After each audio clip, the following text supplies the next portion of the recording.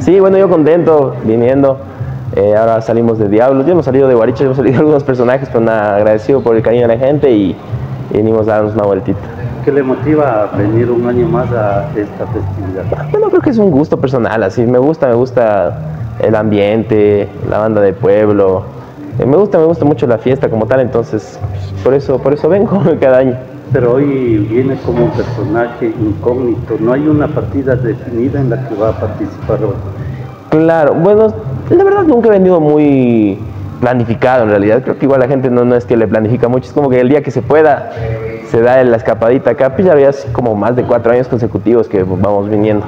Me decía extra micrófono, hay que mantener la tradición y sobre todo esto de vestirse de los personajes de la diablada.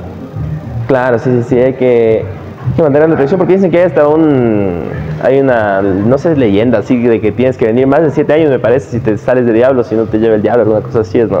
Bueno, pero siguen siendo esos leyendas, mitos que se dan en torno a la diablada pillareña. ¿Qué mensaje nos deja Píllaro en esta oportunidad?